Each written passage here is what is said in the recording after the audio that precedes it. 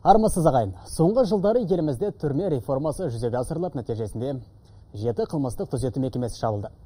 Бұл жылына 12 миллиард теңге үнемдеуге мүмкіндік беріп отыр. Есесіне қамауға алынған азаматтардың саны 30 пайызға азайды. Бірақ бұл жерде заңды сұрақ туындайды. Сотталғандарды босату қылмыстық жазаны жеңілдету секілді шаралар қоғам қауіпсіздігіне қауіп төндірме ме? 1953 жылға жаппай амнистияның салдары қайталанып кетуі неғайбыл. Есіңізде ме? Кеңес одағының билігі түрмелерден бір миллионнан астам адамды босатып осылайша ел аумағында қылмыстық деңгей күрт көтерілген еді. Мұндай жағдайды болдырмау үшін қандай жұмыстар атқарылып жатыр? Бүгін бұл туралы еліміздің бас прокуратурасы ұсталған қамауға алынған және қылмыстық жазаны өтеуші адамдардың құқықтарының сақталуын қадағалау департаменті бөлімінің бастығы нұрлыбек өзбекұлы әбдірайымов мырза әңгімелейді нұрлыбек өзбекұлы студиямызға қош келдіңіз. Енді әлгінде әңгіменің басында айтып кеттім. Қазір елімізде түрме реформасы қарқынды жүзеге асып келе жатыр. Жалпы бұл реформа не үшін қажет? Оның негізгі мақсаты не? Негізгі мақсатын айтатын болсақ мынау жаза тағайындаудың өзі. Жаза тағайындар кезде сот ол бірінші үш мәселені қамтиды. Біріншіден ол жаңағы әлеуметтік әділдікті қалпына келтіру. Жәбірленушіге қатысты. Сотталған дұрыс жолға салып оны түзеу. Үшінші ол үшінші мақсат жаңағы қылмыскер қайта қылмысқа бармау. Осы үш мақсатты қамтиды біздің жаза тағайындауымыз. Ал жаңағы қылмыскер жаза өтеу кезінде оны қорлау оны азаптау ол бізге кірмейді біздің мақсатымызға. Сондықтан қазіргі уақытта түрме реформасын жүргізудің бірден бір мақсаты сол біздің мынау пенитенциарлық жүйемізді халықаралық стандарттарға сай қылу мынау жиырмасыншы ақпанда бас прокуратураның бастамасымен кезекті түрме реформасына байланысты төртінші форумды өткізбекпіз.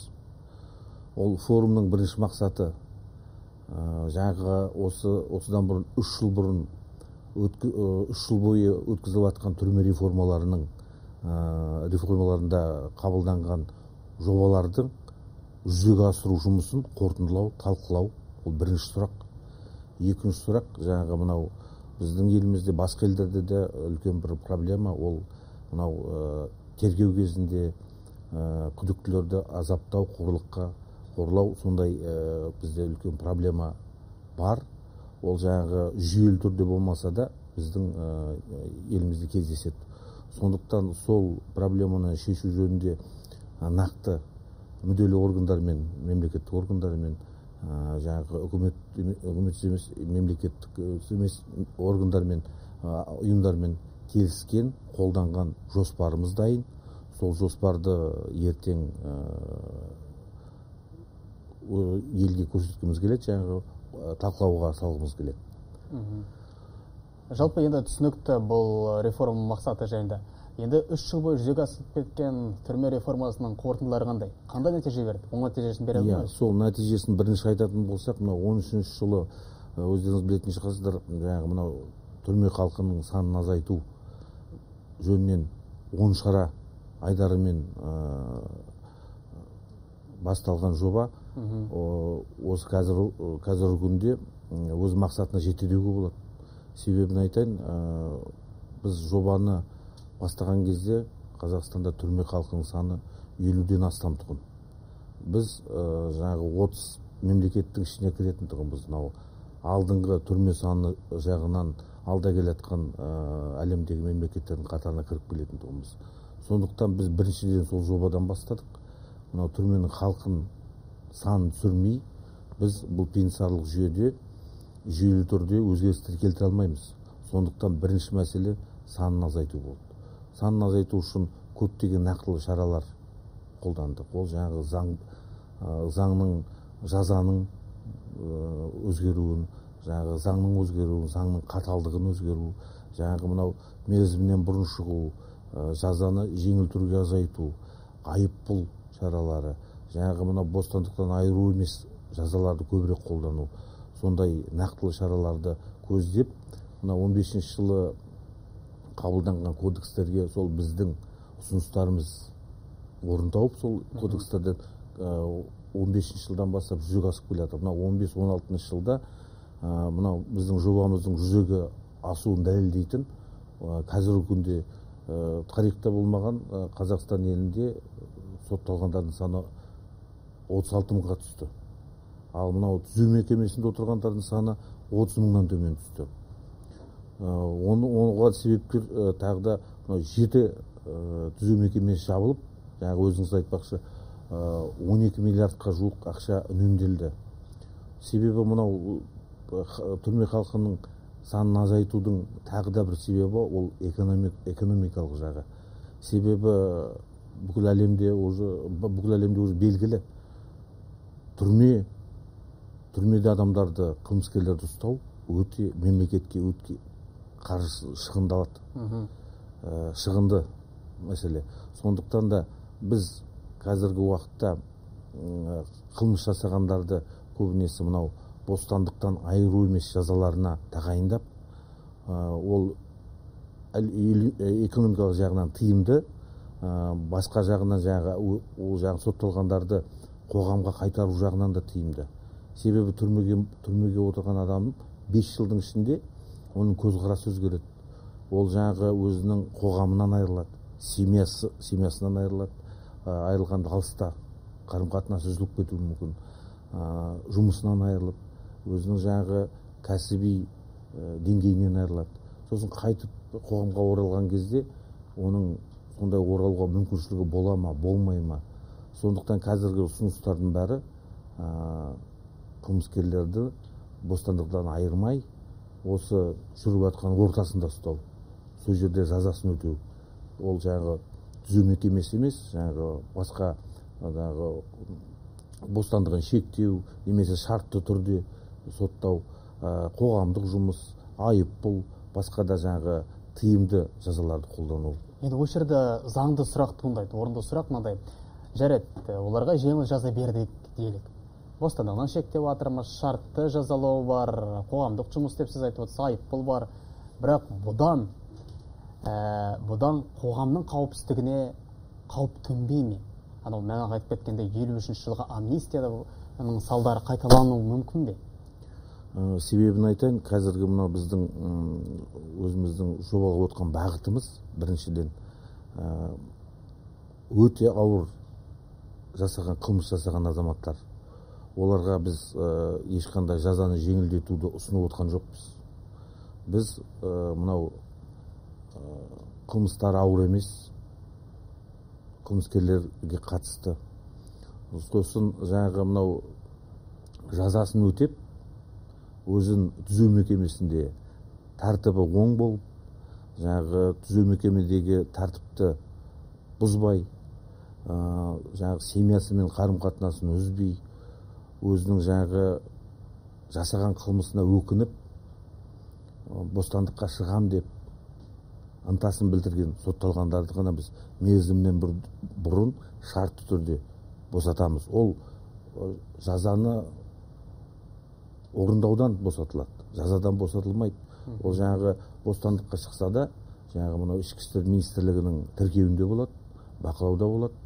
Сондықтан ол қоғамға қауіптілігін азайтамыз сол себепті. Біз толықтай шығармаймыз жаңағы қауіптілердің өзін. Жаңағы әкімшілік қадағалауға орнатамыз. Ә, басқа да ә, тетіктер бар. Олардың жаңағы мынау қоғамға қауіптігін қауіптілігін азайтатын. Соларды қолданамыз.